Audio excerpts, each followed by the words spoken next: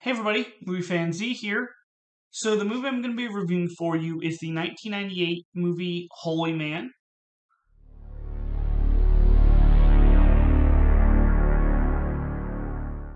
So in this movie, you are introduced to G, who is a evangelist type stranger that Jeff Goldblum and Kelly Preston meet um, while driving, and they basically invite him to their place of business, which is a home shopping network, and he takes America by storm.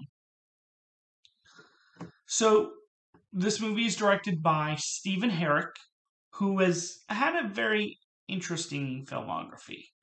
He's done movies like Mr. Holland's Opus, um, 101 Dalmatians, and Bill and Ted's Excellent Adventure, and Critters. So it's just very unique. As far as what I think of this movie, I was not a huge fan. Let's get it uh, the positives out of the way. I think Eddie Murphy is good in what he does. In and what I mean by that is what he is given to do. And the last 10 ish minutes is very good because it gives growth to Jeff Goldblum's character, who throughout the movie was kind of one note. But let's get into some negatives. I think it's such a weird premise for a movie. Evangelist Home Shopping Network taking America by storm. Very odd.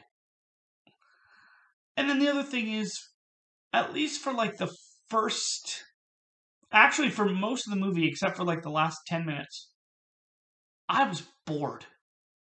There were several times I checked to see how far I had gotten and it wasn't far.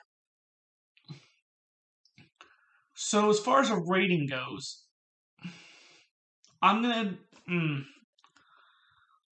I'm gonna give this a one out of five. And if you enjoy my reviews, don't forget to hit that like button and subscribe for more content.